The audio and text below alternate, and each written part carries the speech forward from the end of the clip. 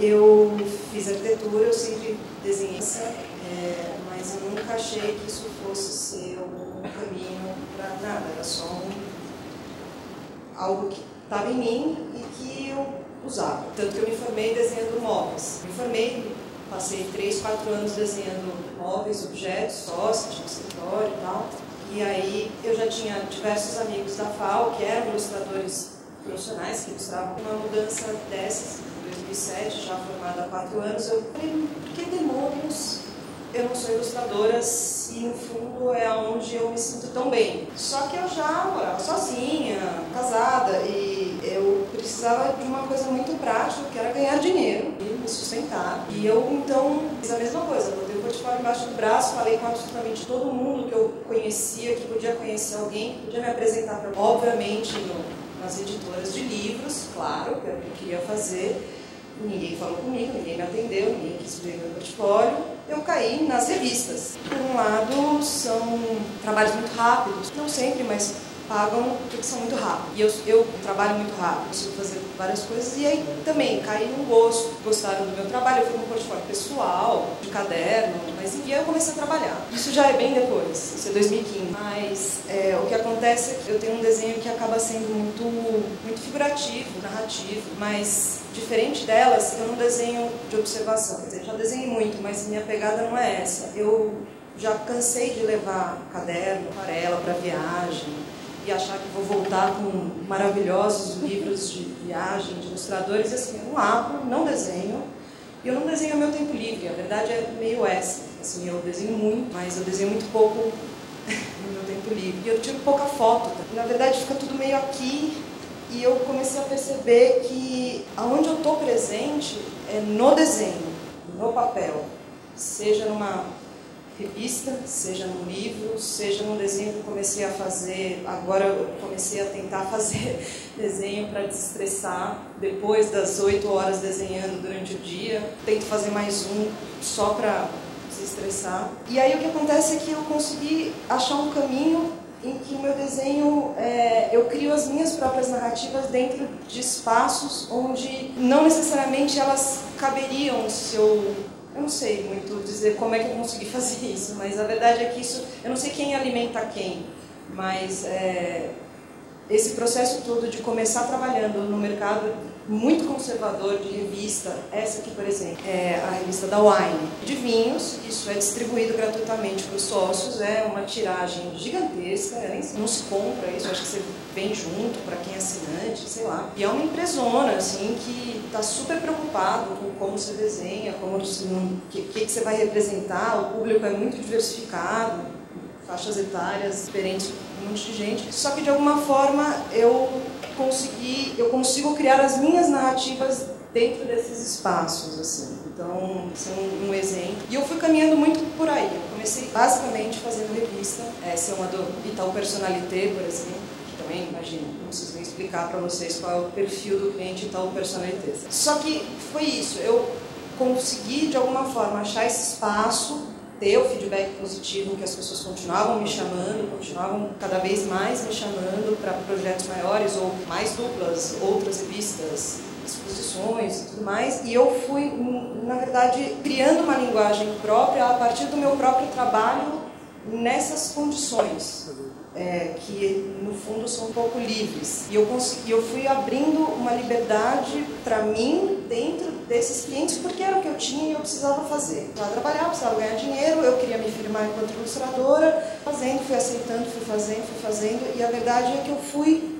desenvolvendo a linguagem do meu próprio desenho e entrando em contato, em contato com o meu próprio desenho, com as possibilidades narrativas do meu próprio desenho, enquanto eu fui fazendo e me vendo nas situações, principalmente de limites, principalmente de cliente chato, principalmente de temas chatos ou de pinos que era óbvio que passavam para mim porque eu era iniciante e eu descascava pepino por bananas. E aí uma hora eu cheguei no jornal, cheguei na Folha. Nunca trabalhei efetivamente na Folha, mas é, esse desenho que é narrativo, é literal, bastante figurativo, mas que de alguma forma eu fui conseguindo paulatinamente é, soltar da ideia que era sempre muito imposta por esse tipo de, de veículo, né? que é o, a ilustração repetir em imagem o que está sendo dito no texto. Isso é, na verdade, a grande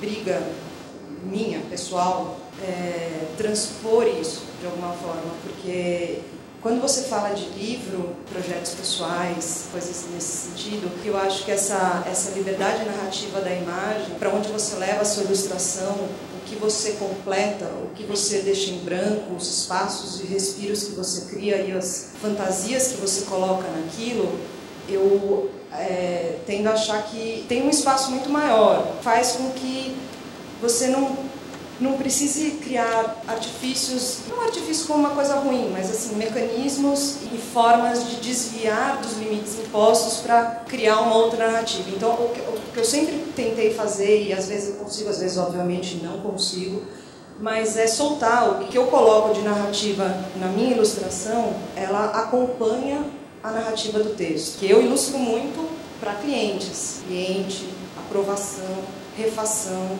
assim, é trabalho braçal, que às vezes você quer falar, e a pessoa não entende, e não vê, e não vai ver, e aí onde você vai? Para onde você vai com isso? E eu acho que de alguma forma eu consegui, tal, esse, esse, o desenho foi indo para um lado, se desenvolvendo ao longo dessa história, de uma forma que eu conseguia colocar a minha, é, a minha narrativa dentro desses desenhos.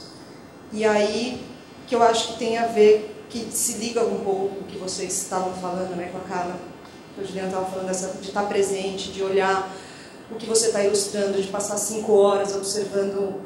E aí eu sempre penso isso, eu falo, gente, mas eu não, não desenho uma linha quando eu viajo, mas eu não rabisco um zero quando eu, assim, fora do meu horário, sabe? Tipo, só que ao mesmo tempo, uma vez dando uma oficina a convite da, da Laura, no SESC, eu propus uma atividade que eu acho que é o cerne dessa, dessa relação minha com o desenho, que é essa presença, cabeça, coração e mão. Então, não passa na visão. É, a presença está no papel, está no desenho que eu estou desenhando. Então, esse saiu agora no domingo. Mas tem um viés, né? Eu estava falando que eu cheguei na Folha, comecei a ilustrar vários cadernos para eles, várias coisas diferentes, ilustríssimo, da saúde, Folha Invest, por aí vai.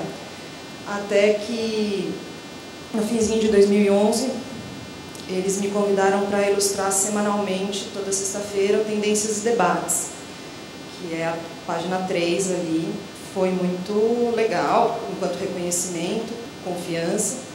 E foi muito legal enquanto aprendizado nesse sentido, porque o tempo de desenho era de uma hora e meia a 40 minutos, entre eu recebia o texto e tinha que mandar o desenho. Então era uma gincana sobre temas, tendências e debates, certo? Que iam de política, economia, saúde, medicina. Mas é, mas funcionou, funcionou muito bem, foi muito legal, foi um aprendizado muito interessante, justamente nessa, nessa dinâmica entre o desenho, o que eu estava lendo. Eu tinha um espaço, eu tinha uma abertura para colocar a minha narrativa sobre o tema e não sobre o que estava exatamente sendo escrito. Então, eu ilustrava o tema, não o texto, e isso era muito interessante. Mas, justamente, o meu desenho ser muito figurativo e assim ser muito narrativo me criou um problema que, a partir de, das últimas eleições, eu comecei a ter problema com as ilustrações e fui sumariamente cortada e substituída pelo Daniel Bueno, que é incrível e que tem um desenho que justamente sai dessa narrativa desse jeito. Para mim ficou muito claro isso. Aí eu, enfim, fui para o jornal, trabalhei, então saiu domingo agora. Aí, essa, na verdade, também já saiu mais tempo. Isso é um PDF, tá? Desculpa o texto, o título ainda não estava final. Mas o ponto foi que eu fui caminhando nesse processo de, de amadurecimento do meu próprio desenho e me entendendo como ilustradora, entendendo, inclusive lidando com esse tipo de questão, que é trabalhar com o desenho e me afastar do desenho no lazer, são coisas conflitantes para mim. Assim, eu me cobro de desenhar no lazer, mas eu não consigo. eu trabalho. E, mas eu fui caminhando, fui chegando em outros, outros, outras possibilidades de, de, de, de enfim, de meios e cheguei no, no livro, que era o meu objetivo primeiro, mas que eu precisei percorrer oito anos de, de roça para conseguir ter espaço nisso. E esse, por exemplo, eu achei na verdade que a gente ia não ia ser um auditório, que ia ser uma coisa menor e tal. Então, assim, eu fiz essas imagens super soltas e trouxe os livros. Achei que ia ser um negócio super íntimo. no caso, vai ficar talvez um pouco solto. Mas, enfim. É, aí o que aconteceu foi, eu cheguei nos livros, comecei a fazer vários livros. Esse, por exemplo, é um do ano passado. Eu, na verdade, trouxe coisas muito mais recentes, mas dá para dá exemplificar. E aí a, a segurança que eu comecei a ter de feedback, dos, dos, de resposta aos meus desenhos, ao espaço que eu consegui criar e a, a uma segurança maior, é, inclusive na minha, na minha expressão, no, no controle do, meu próprio desenho, eu comecei justamente então a tentar fazer outras coisas. Esse, por exemplo, ele é um, ele é um livro, o texto é do Danilo Guzmão, o projeto gráfico é do Celso Longo, e a proposta desde o começo era trabalhar com carimbos, que é uma coisa para mim muito diferente, porque, como vocês podem ver pelas poucas ilustrações que eu tinha trazido, é uma coisa muito de linhas, muito parecida nesse sentido com, com a Juliana, com a Carla. E eu me propus então a fazer em carimbo. Esse está aqui justamente porque na mesma época que eu estava fazendo O Céu Tamanho, que é aquele livro, a ilustríssima me pediu essa quarta capa e eu Falei, então tá, vai ser carimbo. Fui no carimbo. E aí tem essa coisa de ter, ir criando uma, uma segurança e um repertório de, de técnicas de linguagem e principalmente de, de controle mesmo do, do que eu quero e, e cada vez mais forçando essa é, mais para frente essa ideia entre o que significa a relação ilustração e texto.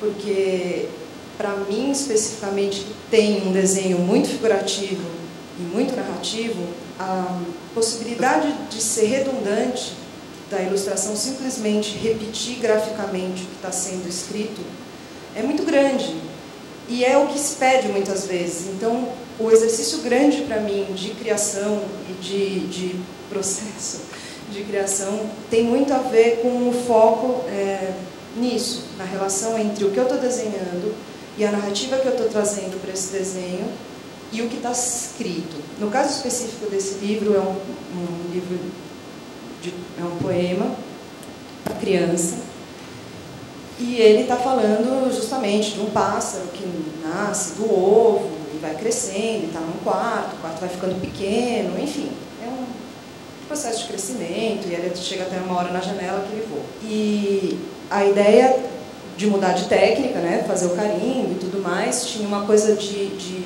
de soltar um pouco essa coisa do contorno e das, das formas contidas, e tinha essa coisa de é, trazer uma outra narrativa que tem a ver com essa, então é, tem essa, essa sensação de claustrofobia tal o tempo inteiro, essa sensação do o pássaro que não cabe mais no ovo, que depois não cabe mais no quarto, que depois sai pela janela.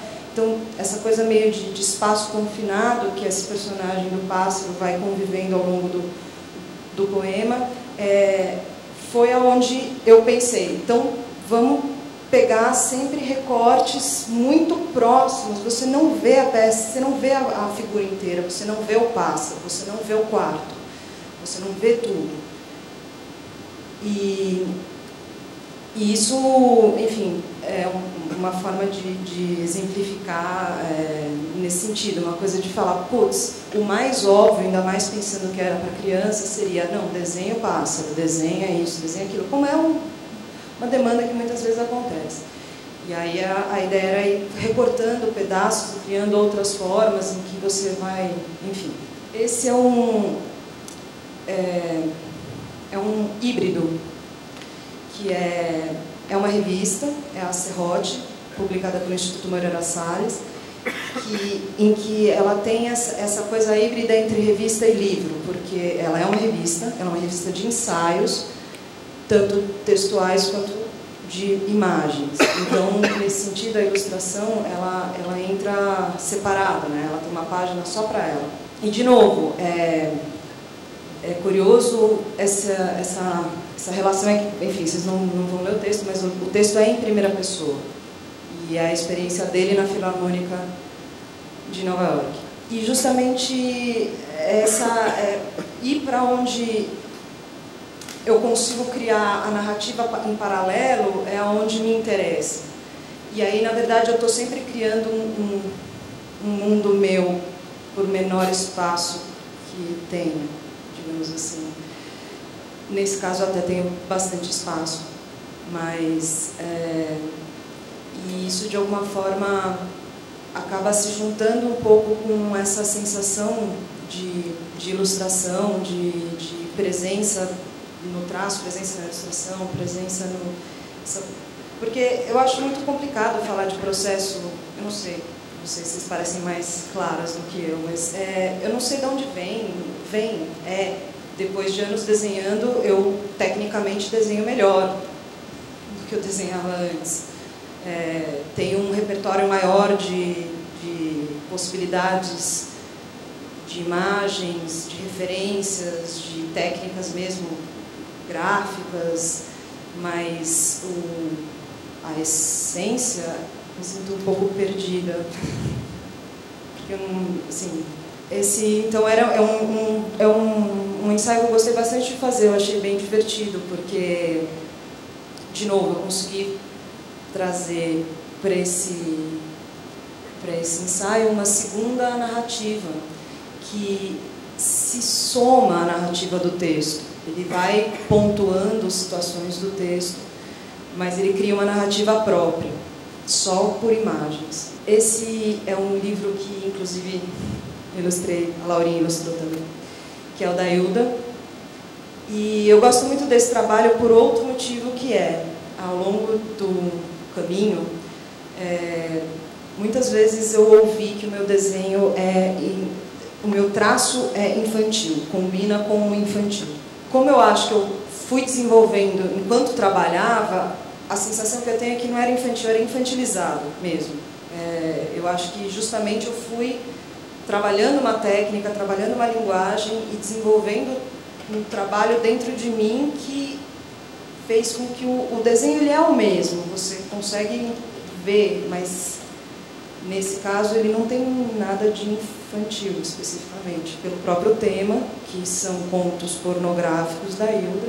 E, de novo, eu de alguma forma não consigo escapar dessa, dessa forma mais figurativa que eu tenho de desenho, mas ainda assim eu solto dentro dessa figuração toda uma, uma fantasia e, um, e eu tento distorcer um pouco essas, essas realidades.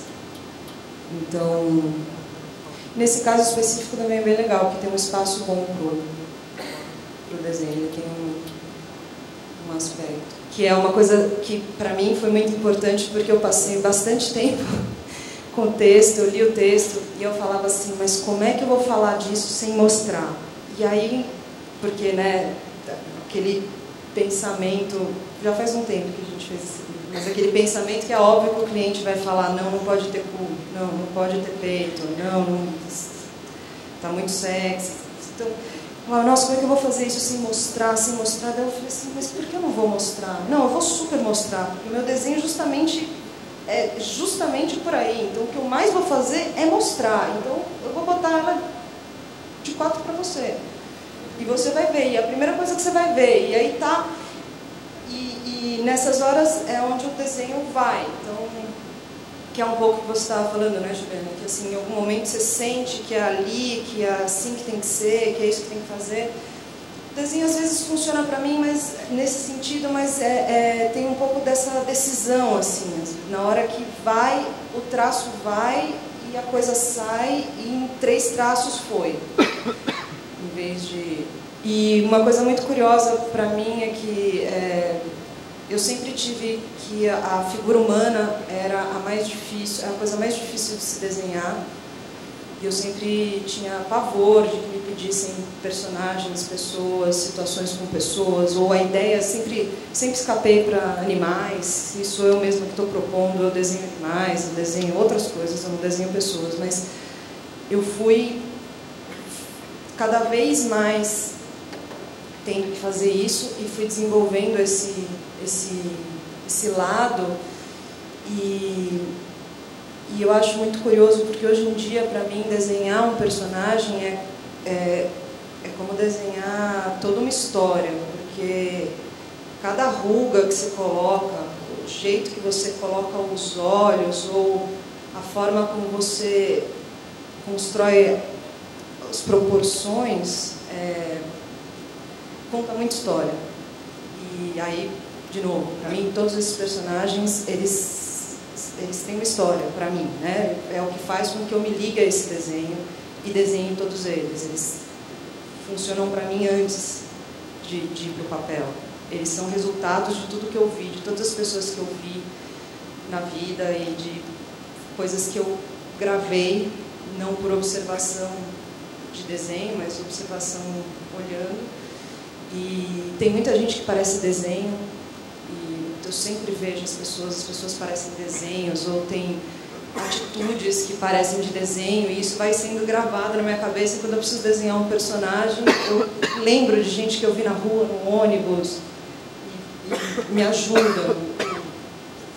O senhorzinho da primeira ilustração, ele é real para mim, pessoas que eu, é uma somatória de pessoas que eu já vi, já conheci, já registrei. Esse, nesse caso específico, sim.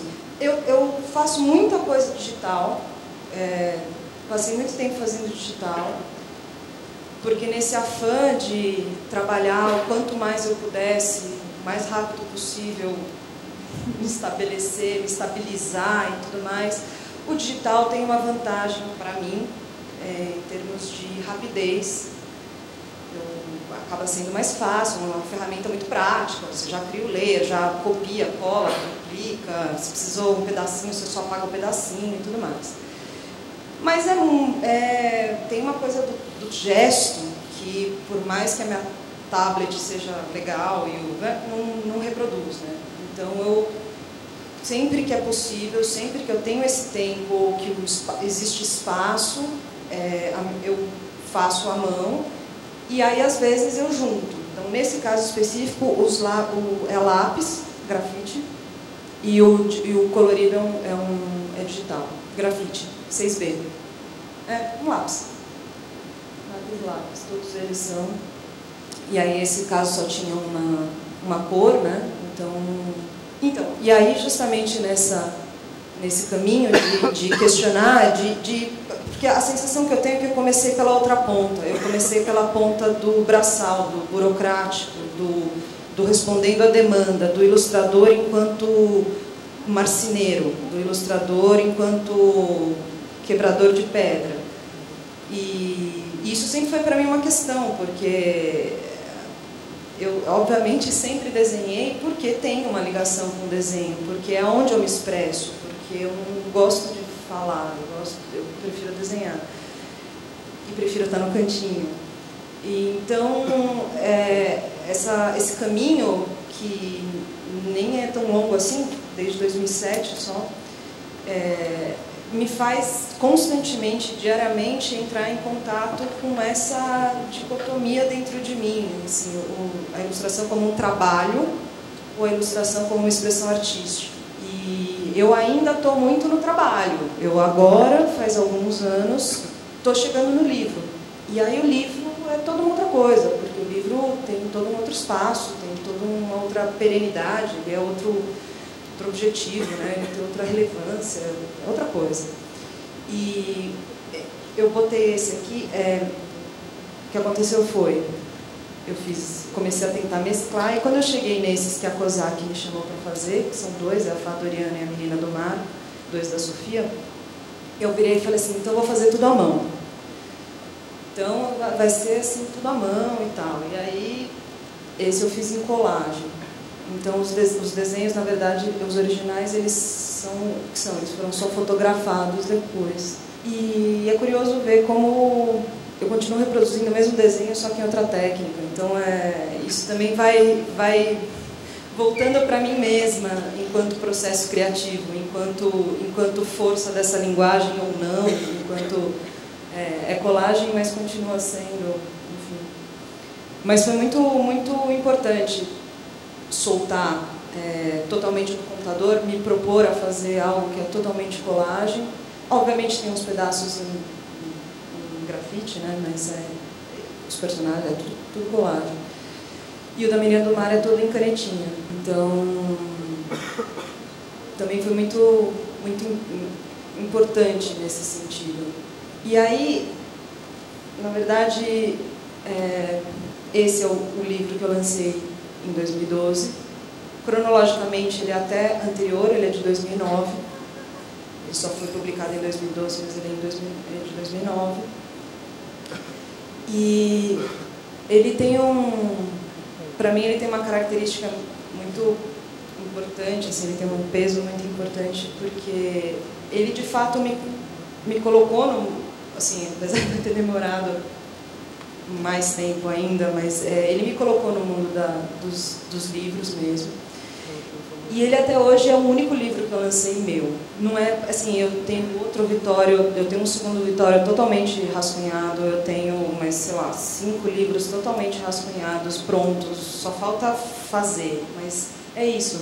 Eu tenho esse prazer em responder também a um pepino proposto, sabe? Eu tenho é, eu acho interessante esse viés da, da ilustração que é uma resposta gráfica a uma questão proposta. É, tem muitas peculiaridades nisso que se no meu ponto de vista, que se descolam do simples, é, não por ser simples, mas do, do, do gesto natural de desenhar algo é, que vem de dentro ou uma coisa que caminha para um lado de artes e eu acho que a, a ilustração especificamente, pelo menos aonde eu me encontro nela cotidianamente, ela tem, uma, tem essa particularidade assim de você criar um, uma narrativa sem texto que se sobrepõe a outro texto que se completa com outro texto, mas não é a mesma coisa.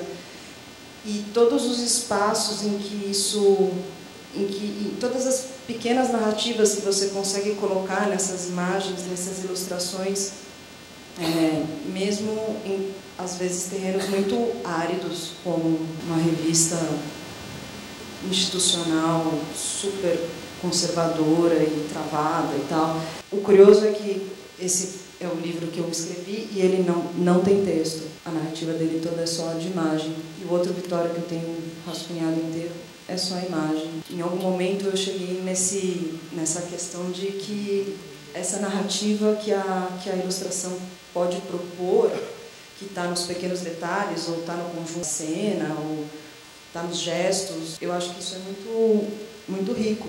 É um caminho que é onde eu acho que a coisa se realiza propriamente. A coisa, eu digo, a ilustração, assim, a expressão da ilustração é, ela tem essa narrativa dentro dela, assim, que eu acho que, que traz uma característica que é diferente, eu acho, a ilustração do, do que é só uma, uma expressão artística via desenho. Assim. Eu acho que ela tem essa resposta dentro dela. Resposta a uma demanda, resposta a um texto, resposta a uma necessidade de criação de alguma coisa que a ilustração e, então, no fundo, eu fico até um pouco constrangida, porque eu, eu acho assim, eu tenho muita coisa para mostrar, mas eu não tenho muitas coisas diferentes para mostrar, porque a verdade é que o trabalho é esse, é o meu trabalho, o meu, a minha relação com a ilustração ela está em um desenho, está em todos. Eu posso mostrar 75 telas para vocês e, e, falar dos pormenores de cada uma, e vão ser curiosidades de trabalho, vão ser curiosidades específicas, mas em termos de. de... E aí, sei lá, se vocês se interessarem, gostarem, tipo, obviamente gente conversa, vocês têm como ver, não, não seja por isso, mas é, eu fiquei pensando o que seria é, enfim, relevante para colocar numa, numa aula sobre processos de criação. É, então eu trouxe algumas imagens, mas elas todas estão dentro de uma mesma coisa, dessa minha trajetória, que foi uma evolução que está acontecendo ainda, de uma aproximação de, dessa linguagem da ilustração minha mesmo, diante do trabalho, das coisas que são propostas para mim, como eu respondo a isso e como esse desenho e essa forma de, de expressão gráfica, não verbal, não, não tipográfica, foi, criando, foi ganhando é, matizes e sutilezas e, e complexidades é, cada vez para mim, da onde eu estou olhando, é, elaboram cada vez mais as narrativas possíveis dentro das imagens que eu crio. E que muitas vezes elas, obviamente, funcionam para os trabalhos, e é por isso que gostam, por isso que me chamam, por isso que dá certo, tudo bem, mas tem muitas das narrativas e das coisas que é, elas estão para mim e para o cliente, ou para quem está olhando, ou para o leitor do livro, elas acho que só pesam como, como lastro assim, do desenho. Só acho que fica uma coisa até mais é, menos visível. Assim. Então realmente eu não vou, não sei, não, não, não, vou falar muito mais porque eu vou ficar me repetindo, eu já sou repetitiva. E desculpa ficou muito confuso. Eu não sabia realmente que, como, como poderia ser o que falar, mas é, espero que.